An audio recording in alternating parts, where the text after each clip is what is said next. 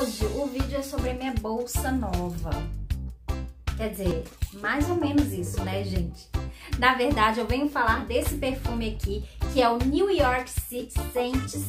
É uma inspiração do perfume Decadence da casa Marc Jacobs. E se você quer saber o que, que eu achei desse perfume aqui, se vale a pena ou não você comprar ele e investir nele, vem comigo!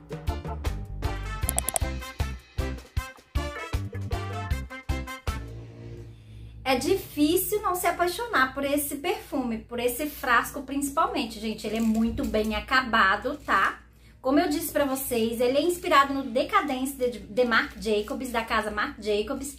Ele é todo lindinho, assim, muito parecido. Eu vou deixar aqui em algum cantinho a foto do Decadence para vocês verem como que é semelhante. Lembrando que essa aqui é uma tampinha, tá? tá? Ela é tipo um courinho isso daqui. E ela sai assim a tampa, tá? Aí você borrifa aqui. Ele é uma coisa muito fofa, muito delicada. Pra gente que é mulher, nós gostamos de bolsa, né? Geralmente a mulher tem aquela coisa de com bolsa, né? Ter várias bolsas. Eu acho que super, eu super identifiquei, sabe? Com esse frasquinho. Eu confesso pra vocês que eu sempre quis ter o perfume Decadence justamente por causa do frasco. Eu nem pensava no cheiro, não. Ah, se o cheiro for bom, melhor ainda. Mas eu pensava muito em ter ele por causa do frasco.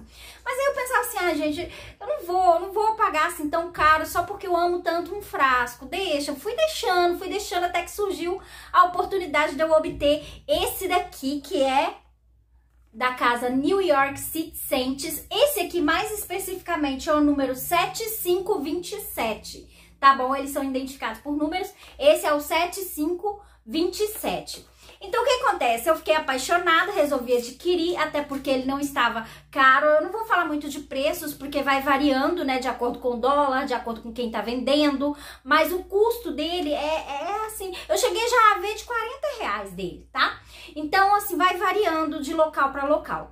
Mas eu fiquei muito apaixonada e como eu queria ter a oportunidade de ter essa bolsinha, eu não pensei duas vezes. Bom, com relação ao cheiro, gente, a gente sabe que o perfume, bom, a gente sabe não, né? A gente conhece, quem conhece o perfume é, Decadence sabe que ele contém ameixa, que ele contém ameixa no início, papiro no final, ele tem aquelas notas verdes, sabe? E frutada ao mesmo tempo, doce e verde ao mesmo tempo. O doce eu acredito que seja da ameixa e o verde é daquelas notas de fundo dele, que eu acho que tem muito a ver com o papiro, sabe?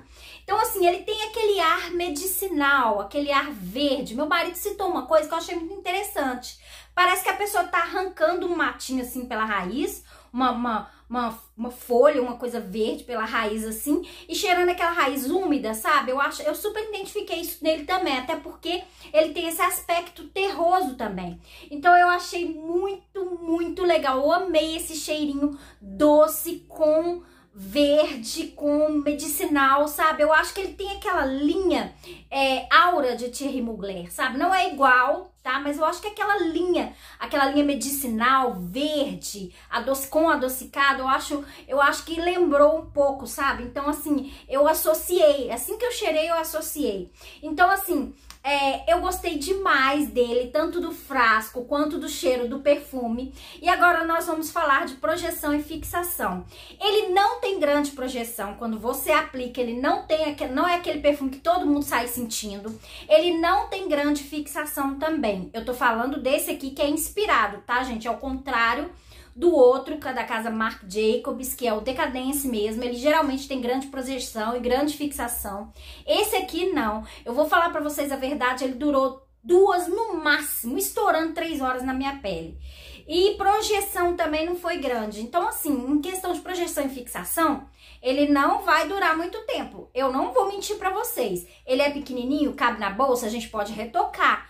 Mas falar com você que ele vai durar não, ele não dura. Não, é, não fui só eu que falei isso, já vi, é, teve outras pessoas que tiveram a experiência e falaram a mesma coisa. Meu marido também viu que não fixou muito tempo. Outra coisa que eu queria falar é que ele é um perfume, eu acho ele bem compartilhável, sabe? Ele tem umas notas nele que parece que é meio até masculina. Eu acho ele super compartilhável.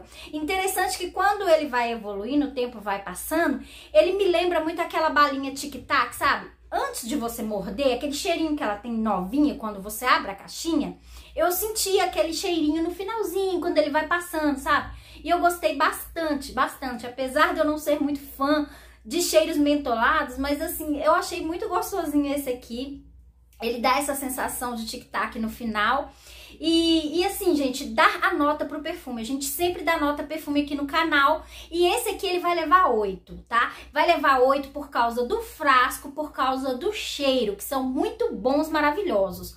Mas eu vou tirar aí dois pontos deles, porque fixação e projeção, não. Fixação e projeção, eles, ele não tem muito, tá? Não vou mentir pra vocês. Lembrando que esse frasco aqui, ele é de 25 ml. Eu acho que tá até, assim, muito semelhante à Brand Collection. Brand Collection também trabalha com inspirações tanto no frasco quanto no líquido. E muitas vezes eles, e eles trabalham com frascos de 25 ml. Apesar de que esse aqui, eu vi que eles trabalham com frascos maiores também, tá? Então, assim, eu achei muito legal, gostei bastante. Eu não arrependo de ter adquirido ele, até porque eu gostei tanto desse frasco, tanto, tanto desse cheiro, que não sei, não tem como eu arrepender, sabe, de ter adquirido ele. Eu gostei demais da conta. Então, se você tá querendo adquirir ele, queria saber um pouquinho mais sobre ele, tá aí as minhas conclusões sobre esse perfume, o que que eu achei, tá bom? Eu espero de coração que vocês tenham entendido, eu espero que vocês tenham gostado. Agradeço imensamente a atenção de vocês e até o próximo vídeo. Tchau!